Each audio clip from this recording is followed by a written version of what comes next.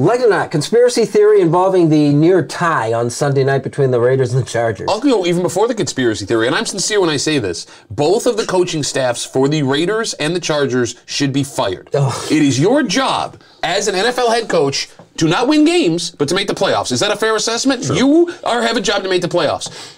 If you tie, you accomplish your goal. The only logical step, the second that the tie to make the playoffs was on the table was for both coaches to go to midfield, shake each other's hands, and say, We're going to take a knee for the entirety of this game. And here's the thing, right? Even the football gods play it out to where that's going to go. And I will give a little bit of credit to the Raiders coaching staff. They essentially admitted in the post-game press conference that they were going to run that clock out and send both teams to the playoffs. Brandon Staley, the head coach of the Chargers, if I am the owner of that team, that timeout in the fourth, or in, in overtime, you should be fired for that. You should be fired for that. They're going home. You have an amazing offense with literal superstars, legitimate NFL superstars all over it.